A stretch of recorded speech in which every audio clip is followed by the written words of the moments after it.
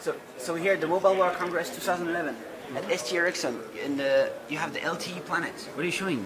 Yeah. So my name is Andreas Wilder. We have the LTE Planet here, and we show a couple of different demonstrations about LTE.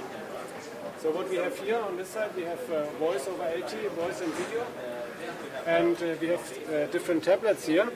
So what we show here is voice over LTE call, running uh, wideband AMR codec. So this is the solution, wideband AMR codec. Okay. Is that a high bit rate or That's a very high quality. high quality?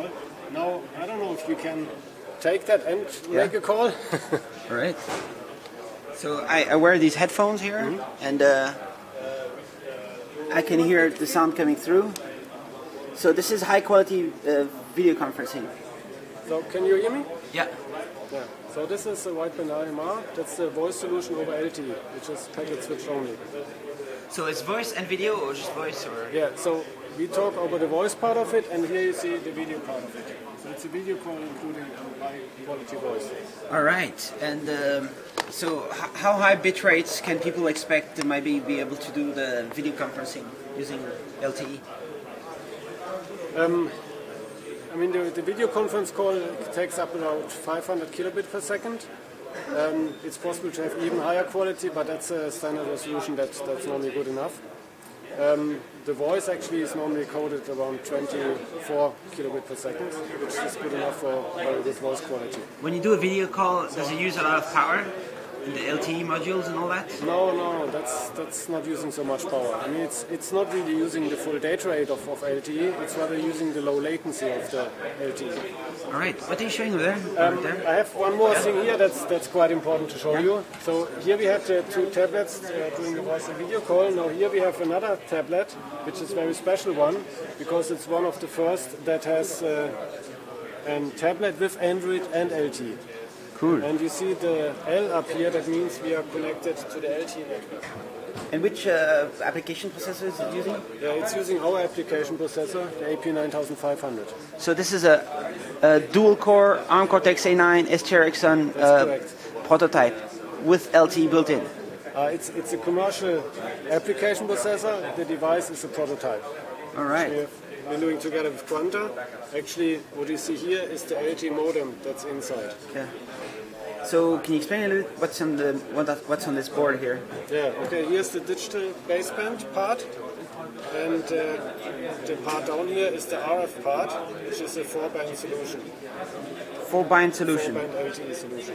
So what does it mean? Four bind. Four different bands, frequency bands. So that, that will work in in uh, United States, in Europe, and in Asia. All right, because each of them have decided different All of them have different uh, bands. What's uh, behind? Is it just flat? So on the back, uh, on the back side, there's the memory. memory. So basically, this would be put in here. Yeah, so this one is put here. You can see it here. All right. So this is the modem inside. And you make it uh, the holes to show the, the modem, not to because Yeah, it's hot. yeah, yeah. All right. How much power does something like this use? Yeah, I mean, uh, typically, I mean, this is uh, according to the USB standard, so it's uh, around 2.5 watt maximum. All right. So basically, the same type of device can go into USB stick that can be connected externally to a PC. Could you say something in terms of uh, uh, what can be hoped in terms of power consumption for LTE built into a device compared to HSDPA? Yeah, I mean, today the power consumption LTE is still a bit higher. In the second generation, the power consumption will be basically similar to, to HSPA. The, the difference will be still when you transmit at uh, the peak data rates, then I mean, you have still some power per bit that you need. But normally, I mean, you will be transferring at, at uh, data rates that uh, allow to have enough users in the cell, so then the power will be basically on a similar level as. And the second generation is not a new network; it's just new chips to receive the second generation chipset. Yeah. And it's you, the same are network. you showing some sample of the second yeah, generation? We'll go to that in, Yeah. in a minute. So I, I quickly show you that uh, we have some applications up and running here.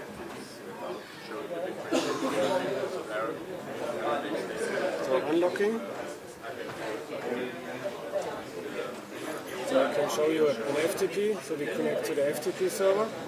So those are the standard uh, Android menus, but now it's adapted here to the Yeah. tablet and running with LTE. So we select the 50 megabyte file. We start the download. So 15 megabyte. So that's a, whole video clip. And it takes a few Nice. and it's downloaded. It's like 8 or more megabit per second or something. Yeah, this was going up to like 9 megabit per second. Uh, this is shared between the different demos here, so it's not getting the whole bandwidth of, of the cell. There's a cell on the roof here. No, we have, yeah, we have a base station Yeah. here with the antennas here, and Okay. then it's connected to the Ericsson core network in Hall Yeah. 6. So how soon are people getting this actually? The whole LTE revolution. Yeah, I mean, LTE is available, it's in the market. Um, devices like this, I mean, will probably be available later this year. So This is coming really soon. Yeah, I mean, LTE devices, commercial devices are available today on the market. Tablets like this, probably sometime later this year. So now this is a video stream, so we're connecting to the, the streaming server. It starts buffering, and then the playback is starting now. Nice. So that's the HD content, 720p. All right. Okay, so that is what we have uh, kind of related to multimedia. So we have one thing here which shows uh, for multi-mode devices. So when you have LTE and wideband CDMA, and initial networks they don't have coverage for LTE in the whole country, so you will move out of the LTE coverage some point in time. So what we show, we have a, a video camera pointing outside the live stream, showing the fountain outside of the building. And uh, currently we are connected to the LTE. And what we do now is we tell the modem to disconnect on LTE and reconnect on wideband CDMA. So I tell it the video stream stops, and now it's searching for the wideband CDMA cell. It takes a moment. Now we are connected to wideband CDMA, and in a moment the video stream starts again. So actually we can see it's, uh, it started raining again outside. All right. You mean like pixelated? No, no, it's, No? the people are running around with the Ah, umbrellas. yeah. So- Okay. okay. Now we can move back to LTE, so we disconnect, the stream stops, Are and all we are the, back connected on, on LTE now. are all the LTE uh, devices going to be dual mode? Now that depends on the type of device. Um, like phones will probably be in multi-mode. There can be like uh, routers or so which are stationary. They could be LTE only. In the longer run, there will probably be also LTE only devices when there's enough LTE coverage. Is it much more expensive to have dual mode? I mean, yeah. I mean, it's it's more expensive. I mean, it's it's, uh, it's a bit larger. So I mean, yes, there's a cost uh, and and uh, size penalty. But uh, I mean, since it will take some time to roll out LTE coverage all over the countries, it will for some time there will be multi-mode devices. Yes. All right. And I have one more thing I would like to show you on this side here. So what we show here is really the peak data rates on LTE. yeah. So what we are doing here is we are connected again to a live network powered by Ericsson. This is running a 20 megahertz uh, bandwidth carrier. Um, we run an FTP download here that's running at around 10, 10 to 11 megabyte per second. 10 to 11. So it's like 80 or 100 megabit per second. Yeah, so on top we run a video stream, of 720p, and then you see up here, that's the combined data rate, those two things together, which means we run about 96, 97 megabit per second, which is basically the maximum you can achieve, which is 100 megabit per second on physical layer, and this is on TCP. So that's the promise of LTE, 100 megabit. Yeah, I mean, clearly you will not see that for every user because they will share the bandwidth, but in good conditions, I mean, that's the maximum a user will see. All right. Uh, so all, every every demo you had today is basically is that kind of limit? Was that a can- special demo? We can achieve this here because this cell Yeah. is allocated for this one device here. Okay. The other demos we share that and we have a cell with a smaller bandwidth, 10 megahertz. So there we can we could basically achieve up to like 74 megabit per second. So in theory, all, every base station with LTE is, do, is doing 100 megabit that's being shared. Kind of, it could do that like yeah, that. yeah, yeah. It depends on the bandwidth. It depends on how much bandwidth the operator has allocated. So there are different bandwidths allocated depending on the frequency band it has. How So much like can in, it- Like in Europe, there are few operators that have a 2.6 gigahertz band. This is what we're using in the demo here. That has 20 megahertz bandwidth. There are other operators that have a frequency band that is only 10 megahertz wide. So the peak data rates depends on how much. And uh, 10 megahertz might be half or Yeah, on 10 megahertz bandwidth you can achieve about uh, 74 megabit per second. 74. maximum. Yes. So it's more than half the, the, the Yeah, actually on, on 20 megahertz the absolute maximum is like 150 megabit per second. But then there are different UE categories defined which say how much the UE can process.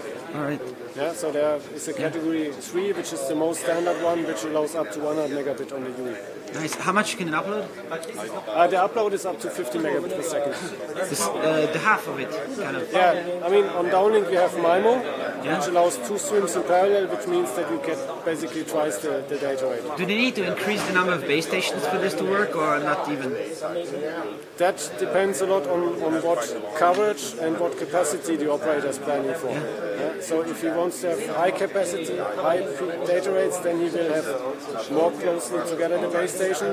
If he's trying to cover rural areas, I mean, he will not reach the peak data rates, but he will still get good data rates out in the rural area. So 2011 might be the year a lot of people in Europe and the US might get this proposition. Now get. LTE. Yes, yes. I mean, it's it has been started both in Europe and in the United States. So I mean, the rollout is, is continuing. So there will be more and more people in Europe and, and North America, as well as Japan, being seeing the benefits of LTE. How big a player in LTE? Uh, uh, do you call them modems? Uh, modules uh, will ST Ericsson be potentially?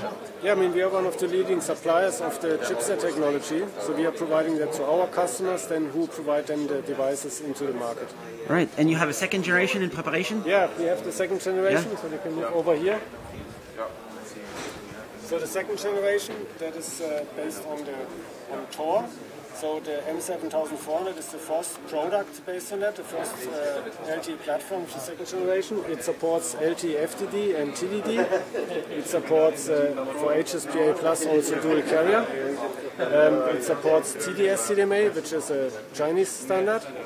Uh, clearly, it supports also Edge GSM. It supports up to eight frequency bands. It's designed from start to, to be small. So you see, I mean, this USB stick is, is uh, quite small already. Um, it is designed to go also in like the mini PCI Express form factor that I showed you before. So I mean, this, this one can go into half size then. Okay. And it's also already optimized for usage in smartphones, so it has all the interfaces to connect to an application processor.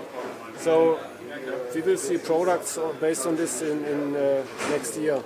And you say it's based on Thor. Is the first generation not based on Thor? Or This is the second generation, and the big difference from the first to the second is that this combines the LTE and HSPA Plus into a single chipset.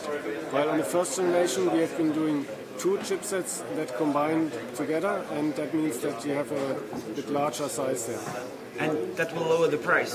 Yeah, the clearly the dual price the price goes down, the size goes down, and also the power consumption goes down. So when you, you combine LTE and HSPA plus. Yes, yes. So, Alright. so what we saw here on this side, Yeah. we moved between LTE and Wi-Fi CDMA here. So this is the, the first generation where we combine this chipset with the HSPA Yeah. Plus chipset that is existing. When they're combined, is it faster to switch from one to the other, or is it going to be kind of the same?